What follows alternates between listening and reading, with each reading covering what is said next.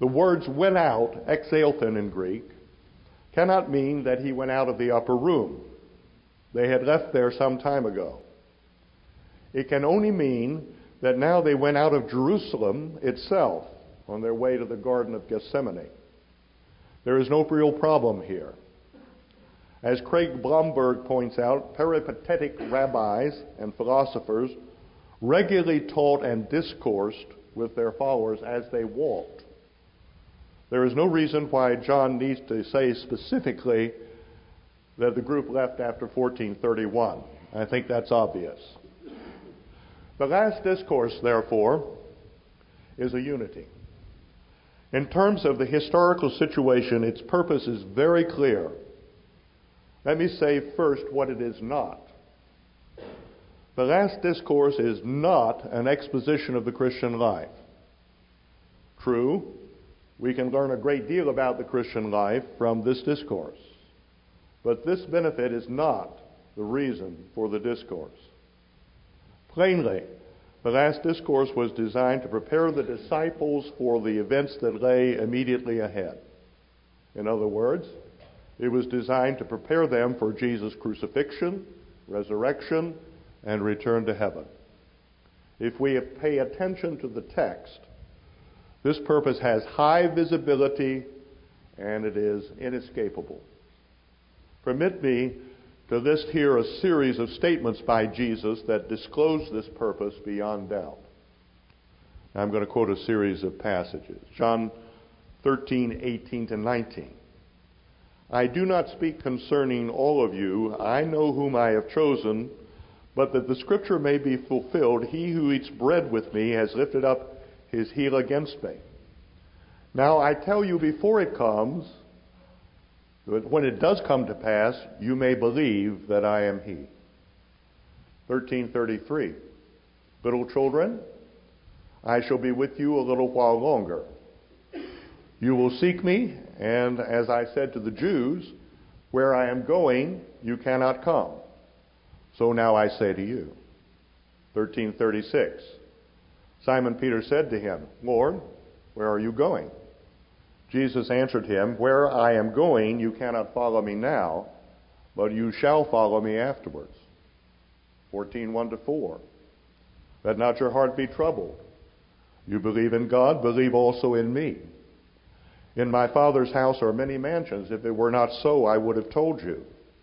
I go to prepare a place for you, and if I go and prepare a place for you, I will come again and receive you to myself that where I am, there you may be also. 14, 16, and verses 18 and 19. And I will pray the Father, and he will give you another helper, that he may abide with you forever. I will not leave you orphans. I will come to you. A little while longer, and the world will see me no more. But you will see me. Because I live, you will live also. 1429. And now I have told you before it comes that when it does come to pass, you may believe. 1520b to 21. If they persecuted me, they will also persecute you. If they kept my word, they will keep yours also. But all these things that they will do to you for my name's sake, because they do not know him who sent me. 16.1. These things have I spoken to you, that you should not be made to stumble. 16:4 But these things I have told you that when the time comes you may remember that I told you them. And these things I did not say to you from the beginning because I was with you. 16:16 A little while and you will see, not see me, and again a little while and you will see me because I go to the Father. 1620. Most assuredly I say to you that you will weep and lament, but the world will rejoice. And you will be sorrowful, but your sorrow will be turned into joy. 1628. I came forth from the Father and have come into the world. Again, I leave the world and go to the Father. 1632. Indeed, the hour is coming. Yes, has now come that you will be scattered, each to his own, and will leave me alone. And yet I am not alone because the Father is with me. 17:4 to 5 speaking to the Father. I have glorified you on the earth. I have finished the work that you have given me to do. And now, O Father, glorify me together with yourself with the glory I had with you before the world was. 1711a.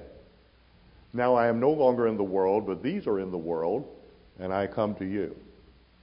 1713. But now I come to you, and these things I speak in the world, that they may have my joy fulfilled in themselves. I rest my case. The historical purpose of the last discourse was this to prepare the disciples for the events that would begin that very night and would lead to the death, resurrection, and ascension of Jesus Christ. Part 3. The literary purpose of the last discourse. Only if we see clearly the historical purpose of the last discourse are we prepared to see the literary purpose of this discourse in the fourth gospel.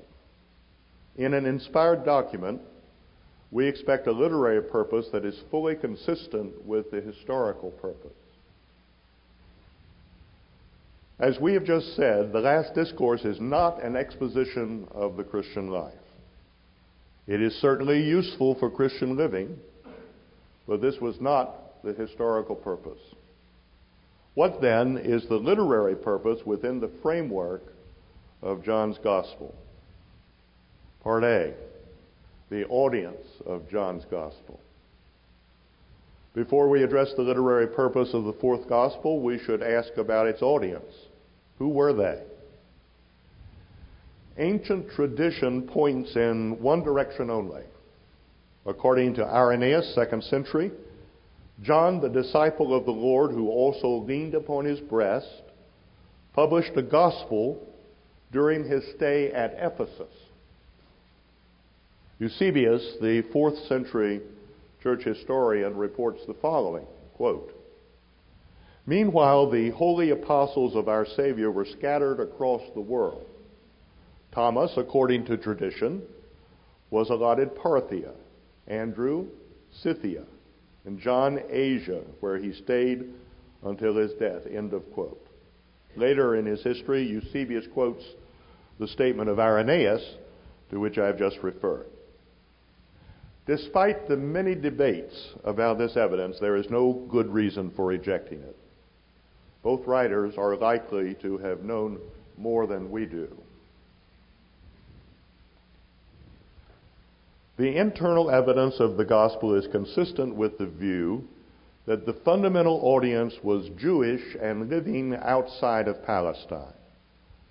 It was also Greek speaking and very literate. During the days now long past when Rudolf Bultmann was the towering figure in New Testament scholarship, it was popular to describe John as a piece of Hellenistic literature that was only marginally Jewish as compared with the Synoptic Gospels. This view now deserves to be laughed at. The Qumran discoveries not only indicate the fundamental Jewishness of John's Gospel, they also have led to the equally extreme suggestion that John is the most Jewish of all the Gospels. I pause to say this with tongue in cheek. It would be fun to write a soap opera about the many convolutions through which New Testament scholarship has passed. I've been around for seven decades. We could call it As the Scholarly World Turns.